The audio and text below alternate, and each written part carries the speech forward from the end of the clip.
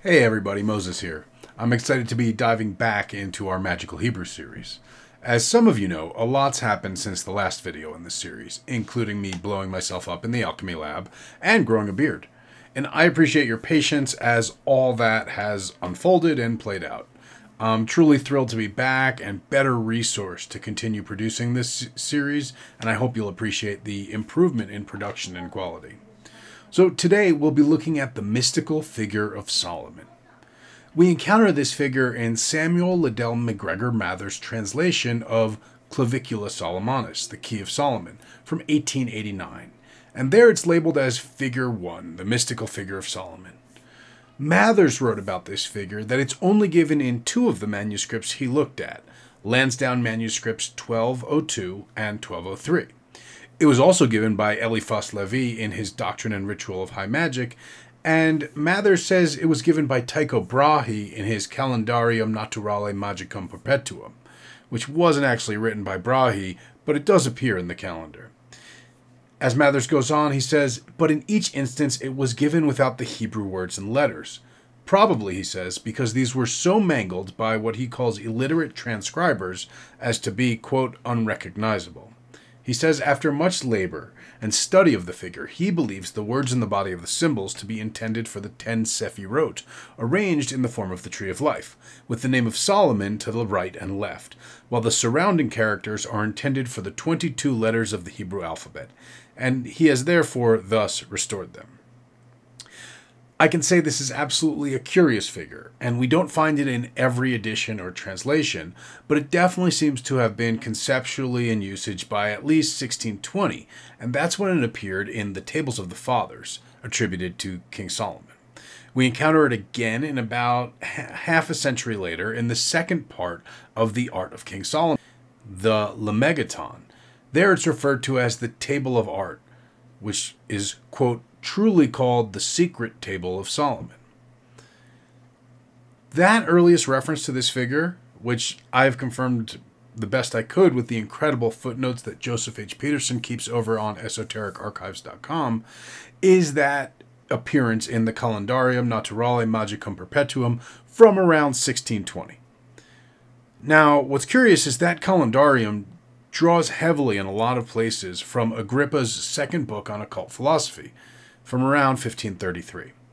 And Agrippa didn't include this symbol at all. But he did include a really interesting cipher created of partial square and angled crosses which would be combined to encode a number. Now, it isn't the case for all of the tables of the fathers given in the calendarium that if we look at them with this code we can make sense of it. But if we look at Agrippa's tables against our figure in question, we notice that it's primarily composed of square and angled crosses. Here we have an upright square cross, and here is the upright angled cross. Now, in Agrippa's code, the upright square cross is equal to 22, and the upright Y or angle cross equals 44. We'll come back to those numbers in just a second here. And I do want to indicate that we are sort of just exploring.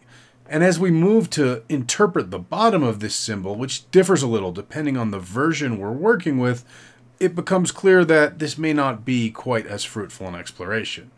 If we go with the version in the calendarium, we get this figure, which would equal 7700. The shape we see in the Key of Solomon, on the other hand, doesn't correspond at all to Agrippa's code because it has this little bit sticking down. We'll revisit this little bit and why Mathers may have emphasized that in a moment. But what does it mean? What were those numbers and how might this be connected? Well, I haven't come across anyone connecting these figures with Agrippa's code, so I'm completely spitballing here, and I've certainly not found anyone who has been interpreting them. This is pure freewheeling. But the cross that equals 22 has the same value in Hebrew gematria as Zevka, sacrifice. Zayin is 7, Bet is 2, Chet is 8, Hey is 5, equaling 22. Meanwhile, that Y shape would equal 44 in Agrippa's code, which is the gematria value of Dam, which is blood. Dalet is 4 and Mem is 40. That gives us 44.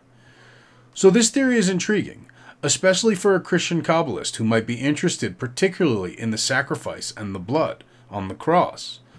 but it wouldn't explain the bottom of the shape, which either equals something that's not in the code or, in best case, 7700. Of course, high number gematria can be hard to impossible to crack, even using computers. There's such a large number of phrases that can add up to that that there's no way we can know what it represents. The most interesting association we might find is purely coincidental, but pretty neat.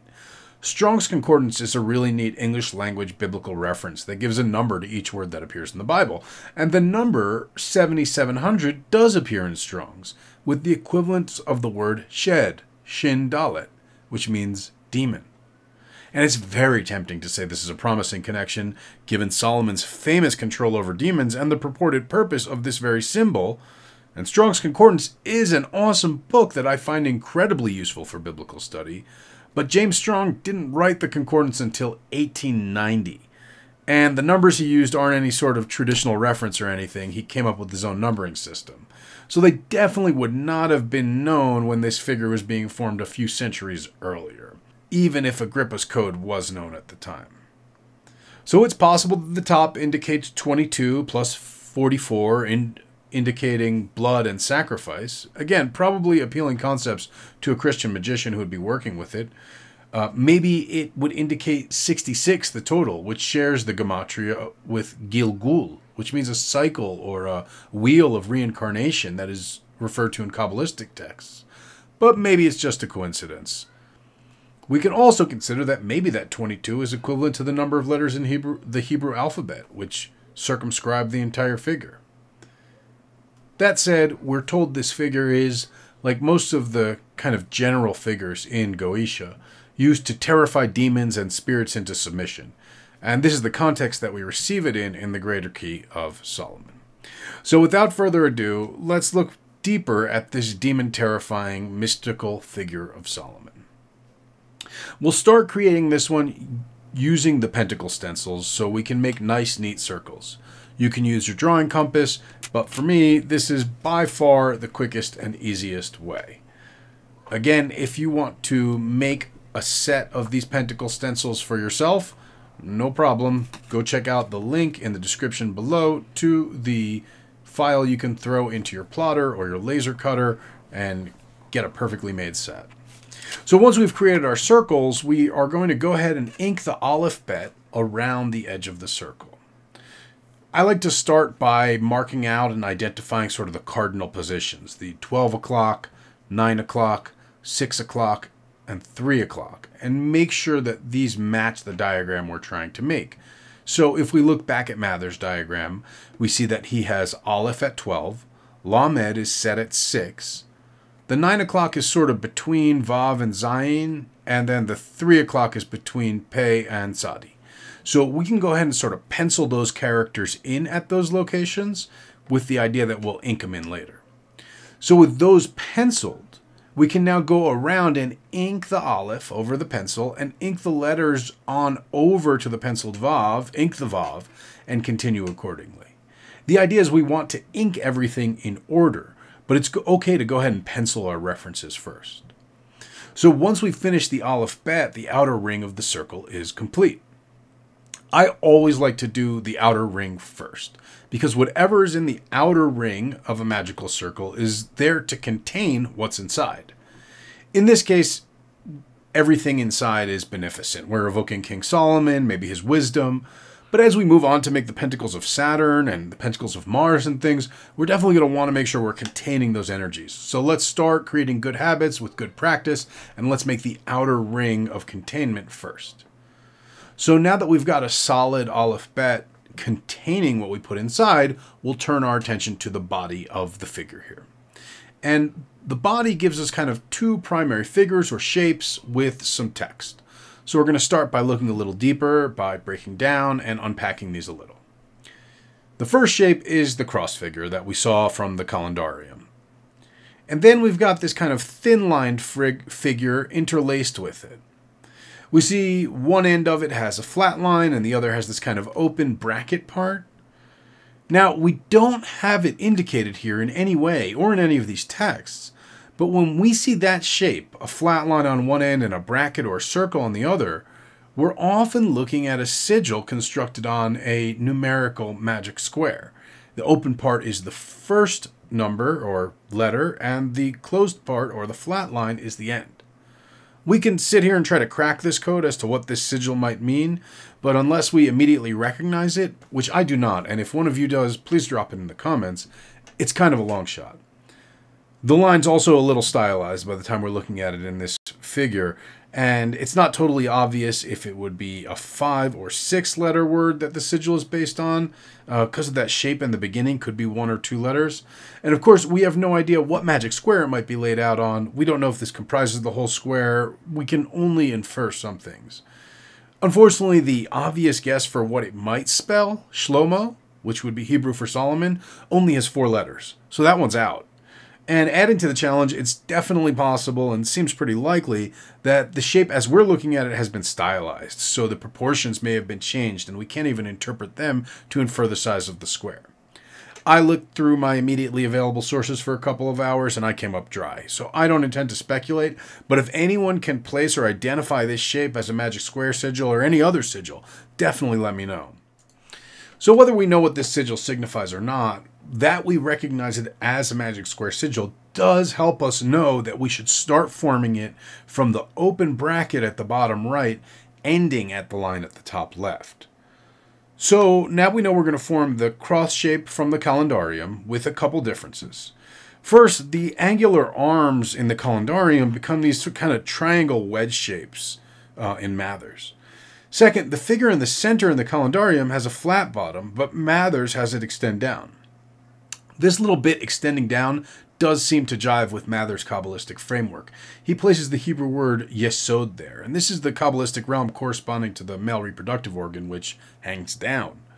So we might want to experiment with those two modifications, maybe creating it with the Y arms instead of the wedges, and maybe we want to work with the flat bottom. But for this video, as we're going to work on the Mathers version, we're going to use the triangles instead of the diagonals, and we're going to leave that little bit dangling down to create the yesod. Once we make that figure, then we're going to have to create the magic square sigil, and then there's all this text. So let's look at that. Now, the text as we have it here is given by Mathers, and it's comprised of three parts. We have the ten Sefirot of the Kabbalistic Tree of Life, laid out as we expect. Keter, Chochma, Bina, Da'at, Gedula, Gevura, Tiferet, Netzach, Hod, and Yesod. Then up on the diagonals up here, or the wedges, we have Av, father, on the right side, and Ima, mother, on the left. Now, Mather's spelling here is a little dubious. Ima is usually just Aleph Mem Aleph, and he's added a Yud in here. And since we know from his footnotes that Mathers did the Hebrew himself, and because he had so much disdain for illiterate transcribers, I feel okay correcting his spelling here for the sake of literate transcription. Around the edges of this magic square sigil shape, shape we have that four letter word repeated twice Shin Lamed Mem He. That spells Shlomo, Solomon. Okay, so now we have our plan and we're ready to create the figure. But researching this video led me to consider something that I want to explore a little here. What if Mather's base assumption was close, but not quite right? Mathers assumed that the figures around the ring had to be the Hebrew alphabet, even though what he was looking at was something like this. What's for certain is that there are 22 figures, at least in this 1750s rendering here, which seems to include astrological characters, some Latin characters, a couple Hebrew letters, and some other assorted shapes. Now, we also have this other 1750s French version of the figure, and they seem to be closer to perhaps a single alphabet, but Counting the figures seems very hard, and if they are an alphabet, it's definitely not Hebrew. When we look at famous French occultist Eliphas Levi, he's of virtually no help to us. He gives us his version, and he's removed everything from the outer ring except the four letters of Solomon's name.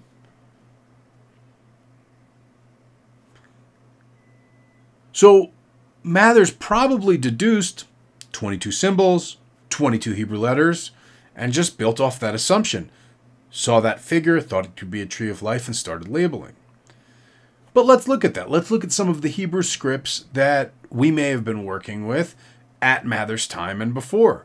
when these things were written and when he was studying them. For this, we're going to look at Edmund Fry's Pantographia, written in 1799.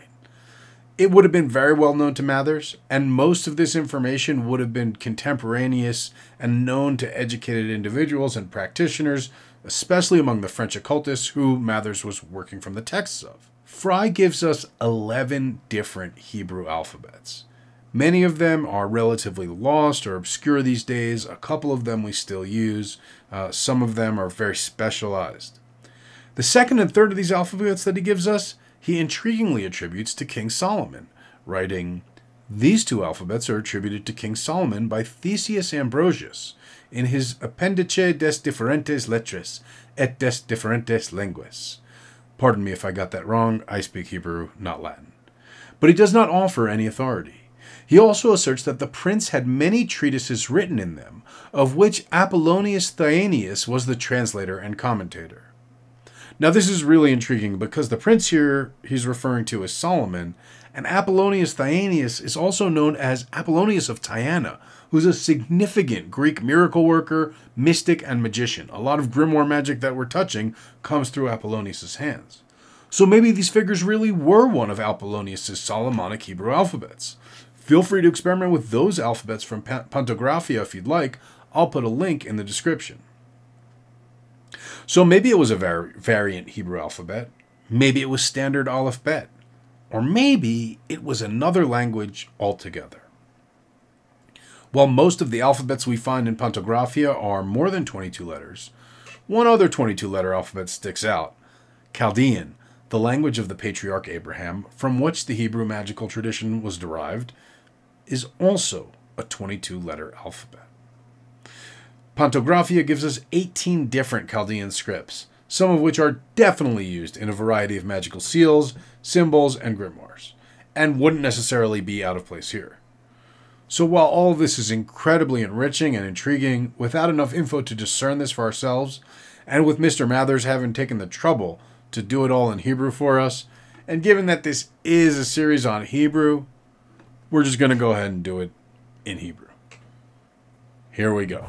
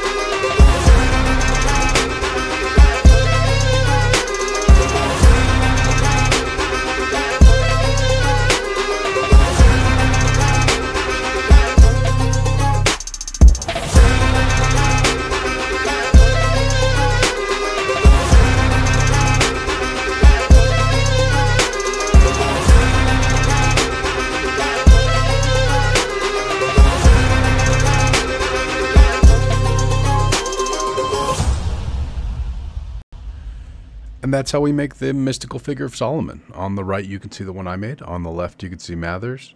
One might argue that my lettering is a little better, his figure is a little more proportionate, but given that I was rushing and not measuring anything, I think it came out pretty good.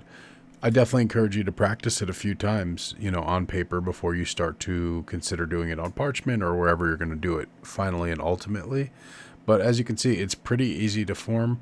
Uh, I like to use the letters on the outside as reference points. When you saw me making it, you kind of see me line up the diagonal of the sigil line. Um, Mathers brings it up to the kof. I brought it up to the tzadi just so I could split it kind of in the middle of the page, but using the kind of the angles of the letters uh, and lining your straight edge up with them is going to help you get everything proportional in the way you want it. Definitely feel free to interpret it. That's another point that I absolutely have to make.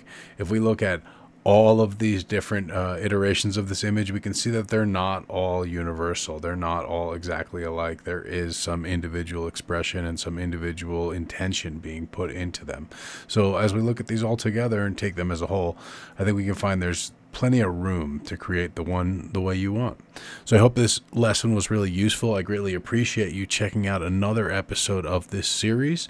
Uh, go back and review the earlier episodes if you haven't already. Check out the links in the comments, and I'll see you with the next one for the first Pentacle of Saturn.